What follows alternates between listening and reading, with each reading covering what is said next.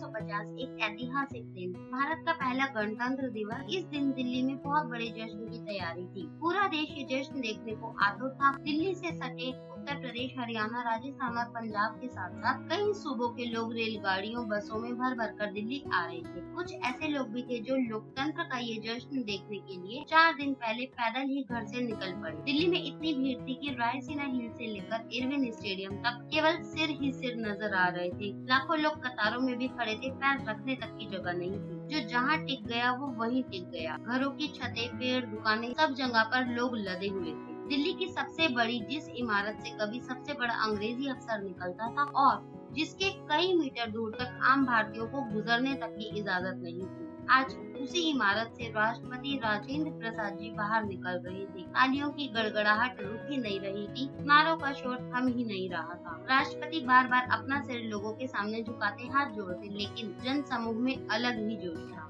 फिर वो दृश्य सामने आया जिसका लोग बेसब्री से इंतज़ार कर रहे थे। साम्राज्यवादी सत्ता की शान शौकत दिखाने वाली वो बग्घी जो ब्रिटिश वायस राय की शाही सवारी हुआ कर जिस पर शाही मेहमान और भारत से गुजरने वाले शाही मुसाफिरों को बैठाकर दिल्ली की सड़कों पर घुमाया जाता था। वो बग्घी कभी जिसे देखकर भारतीय रोष में उबल पड़ते थे, लेकिन आज वही बग्घी भारतीयों के सामने थी और वो उसे देखकर मंत्र मुग्ध हो गए। खुद पर इतना इतरा रहे थे क्योंकि अब हाथ से गड़ी सोने और चांदी की मड़ी हुई लाल मखमली गद्दी वाली बग्गी पर एक भारतीय बैठा था। एक समाजवादी देश का सबसे बड़ा प्रतिनिधि। एक ऐसा सपना सच हो रहा था जिसे सैकड़ों सालों से हर भारतीय देखता आ रहा आज चौहत्तरवे गणतंत्र दिवस के दिन मैं आपको सुनाऊँगी उस जश्न की कहानी जो 26 जनवरी 1950 को देश की राजधानी दिल्ली में मनाई। साथ ही मैं बताऊँगी कैसे बंटवारे के दौरान वायस राय की शाही बग्घी पाकिस्तान के हाथों में जाते जाते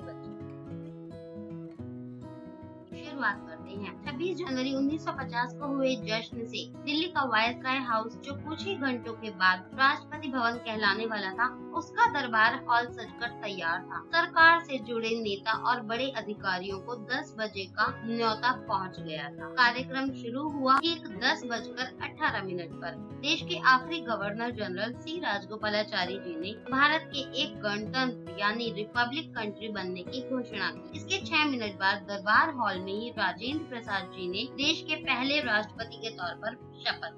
राजेंद्र प्रसाद जी के शपथ लेते ही करीब साढ़े दस बजे इकतीस बंदूकों से उन्हें सलामी दी गई और इसके साथ ही दिल्ली में नहीं बल्कि पूरे देश में गणतंत्र दिवस का जश्न शुरू हो गया। उधर राष्ट्रपति भवन में गणतंत्र दिवस के मुख्य अतिथि इंडोनेशिया के पहले राष्ट्रपति सुकर्णो जी का स्वागत किया गया, फिर दोपहर ढाई बजे भारत के पहले राष्ट्रपति राजेंद्र प्रसाद जी राष्ट्रपति भवन से बाहर निकले। लाखों लोगों की भीड़ उनका स्वागत कर रही थी। राष्ट्रपति जी मुस्कुराते हुए सर झुकाकर और हाथ जोड़कर बार बार लोगों का अभिवादन कर रहे थे। लेकिन लोगों की तालियाँ तब भी नहीं रुक रही थी। तभी राष्ट्रपति भवन के मुख्य गेट के बाई ओर एक बग्गी आती दिखाई दी। ये थी ब्रिटिश वायस राय की सोने और चांदी से गड़ी मखमली गद्दी वाली और छह ऑस्ट्रेलियाई घोड़ों से खींची जाने वाली शाही बग्गी बग्गी को देखते ही भीड़ में और ज़्यादा उत्साह बढ़ गया, नारों का शोर और ज़्यादा तेज हो गया।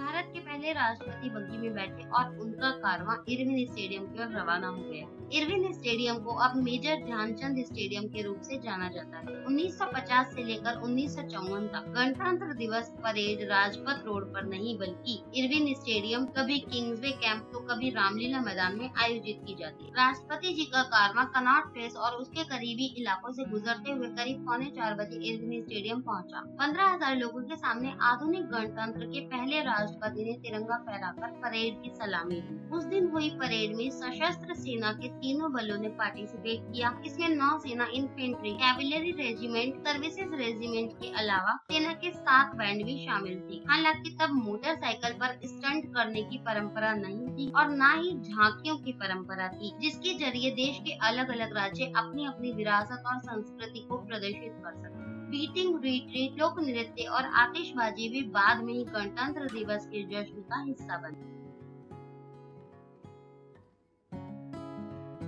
जून उन्नीस की बात है, अंग्रेज़ों से भारत को मुक्ति मिलने की तारीख लगभग लगभग आ ही चुकी थी। ऐसे में भारत और पाकिस्तान के बीच जल्द से जल्द बंटवारा कराने की ज़िम्मेदारी आखिरी viceroy lord Mountbatten को दी गई। पंद्रह अगस्त की तारीख में महज तिहत्तर दिन बाकी थे। इतने कम समय में दोनों मुल्कों के बीच सरकारी संपत्ति और पैसों का बंटवारा होना था। ये बिल्कुल भी आसान काम नहीं था। माउंट बेटन ने दिल्ली के हर ऑफ़िस में एक कैलेंडर टंगवाया जो ये बताता था कि 15 अगस्त आने में अब कितने दिन बाकी रह गए। भारत की तरफ़ से इस काम में एच एम पटेल और पाकिस्तान की तरफ़ से चौधरी मोहम्मद अली को लगाया गया। इन दोनों को बंटवारे से लेकर संबंध विच्छेद की शर्तें तैयार करनी थी ऐसी शर्तें जिन पर दोनों राज़ी हुए। सैकड़ों अधिकारी रोज़ाना लंबी चौड़ी सूचियाँ तैयार करके इन्हें भेजते और फिर ये अपनी सिफारिश माउंट बेटन को भेजते थे सरकारी कार्यालयों में रखे सामान से लेकर लगभग हर चीज़ के बंटवारे पे बात बन ही चुकी थी। भारतीय सेना के बंटवारे पर भी बात बन गई कि 25 लाख सैनिकों में दो तिहाई भारत के साथ और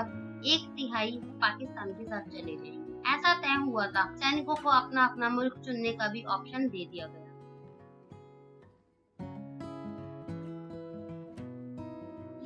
चीज़ें ऐसी थी जिन पर बात नहीं बन पा रही थी, चाहते हुए। जब कहीं बंटवारा होता है तो आमतौर पर सबसे ज़्यादा तो तुम्हें में पैसों को लेकर होती है राइट यहाँ भी ऐसा ही हुआ एग्जैक्टली नकद पैसा कैसे बटेगा? आरबीआई में जो सोने की ईटें हैं, उसका क्या होगा?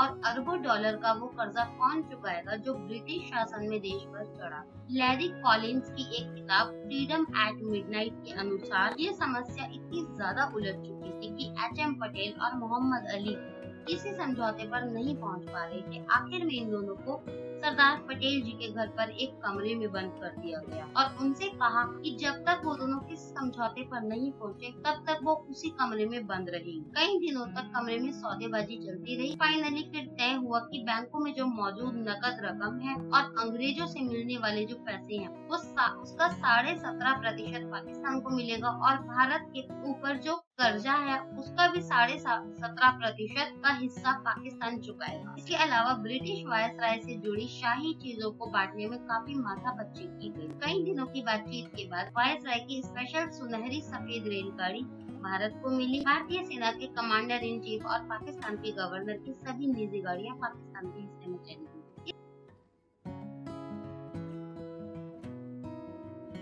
दौरान एक बेहद चर्चित विभाजन वायसराय के अस्तबल में हुआ। वायसराय की सोने और चांदी से गड़ी बग्घी आखिर किसे मिली। ये तय नहीं हो पा रहा था काफ़ी समय तक इस पर सोच विचार किया गया। कोई हल निकलता ही नहीं था। दोनों ही मुल्क इसे छोड़ने को राज़ी नहीं थे। दोनों ही आज़ादी के बाद अपने अपने राष्ट्रपति की शाही सवारी बनाने को उत्सुक थे। जब कोई भी हल नहीं निकला तो माउंट बेटन के निजी सैन्य अधिकारी लेफ्टिनेंट पीटर होल्स ने एक सुझाव दिया। बोले कि अब ये फैसला भारती के भरोसे छोड़ देती हैं। सिक्का उछाल कर तय कर लेंगे कि शाही बकरी किसको मिली पाकिस्तान की तरफ़ से कमांडर मेजर याकूब खान और भारत की तरफ़ से कमांडर मेजर गोविंद सिंह जी को बुलाया गया। चांदी का सिक्का हवा में उछाला गया। गोविंद सिंह जी ने सन अपनी साइड बता सिक्का जब खनकता हुआ अस्तबल के फर्श पर गिरा तो उसके ऊपर मोटा मोटा लिखा था, सन और वो चमक रहा था। गोविंद जी खुशी से उछल पड़े, क्योंकि अब किस्मत ये फैसला कर चुकी थी कि साम्राज्यवादी शासकों की शाही गाड़ी में नए समाजवादी भारत के राष्ट्रपति बैठेंगे और पूरी दिल्ली की सैर करेंगे। तो इस तरह से शुरू हुई ये जर्नी। आई होप वीडियो आपको अच्छा लगा होगा। वीडियो अगर अच्छा लगा तो ज़रूर ज़रूर लाइक कीजिएगा, ज़्यादा से ज़्यादा शेयर कीजिएगा और चैनल को भी सब्सक्राइब कीजिएगा। आज के लिए इतना ही। मिलते हैं किसी नए वीडियो में, किसी नए टॉपिक के साथ। तब तक के लिए बाय एंड